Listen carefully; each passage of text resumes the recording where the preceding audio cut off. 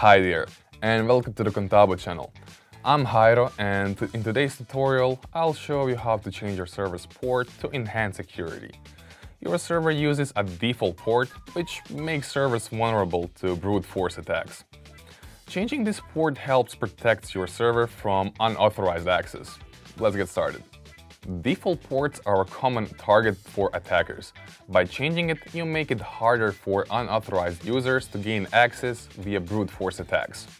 Contabo does not restrict which port you can use, so you can select a custom port for added security.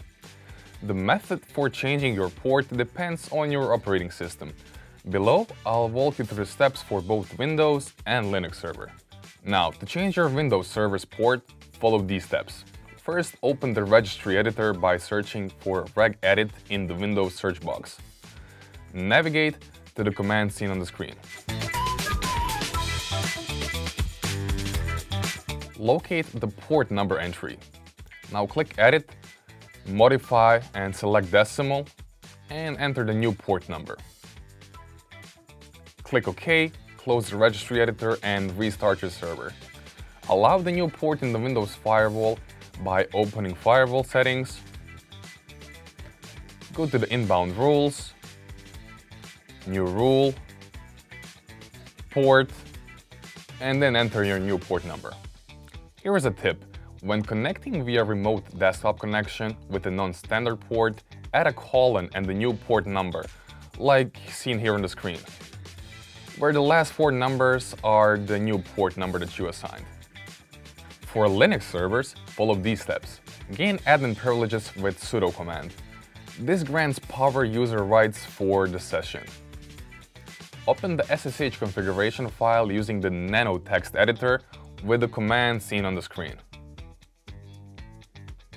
And now locate the line called port 22 and replace number 22 with any value between 1024 and 65536.